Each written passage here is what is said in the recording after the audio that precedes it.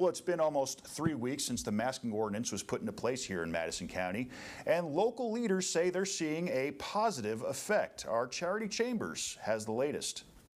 We're starting to see some flattening of the curve. Uh, in the last week, uh, we had 750 uh, cases. Uh, the week before that, we had 950 cases. There's been over 79,000 COVID cases in Alabama, more than 4,000 here in Madison County. According to Huntsville Hospital CEO David Spillers, we may be getting close to seeing a downward trend. I'll give you the numbers here in Madison County. Preface that by saying they haven't changed substantially from last Monday.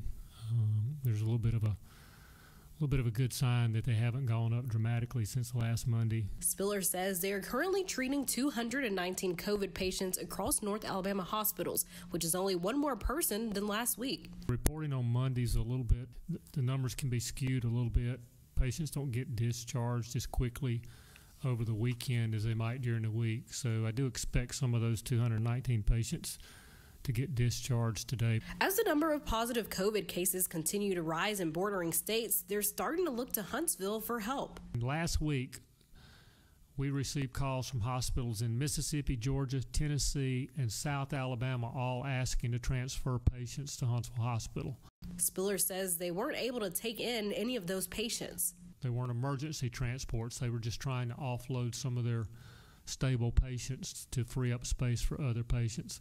As for here in Huntsville, Mayor Battle says he's positive about the future. If you look at the last 14 days, uh, are very close to the lowest level that. Um, uh, of any of the major cities in in the uh, in the state of Alabama, so uh, we're starting to see some some turn. Putting the Valley first, I'm Charity Chambers for WZDX News.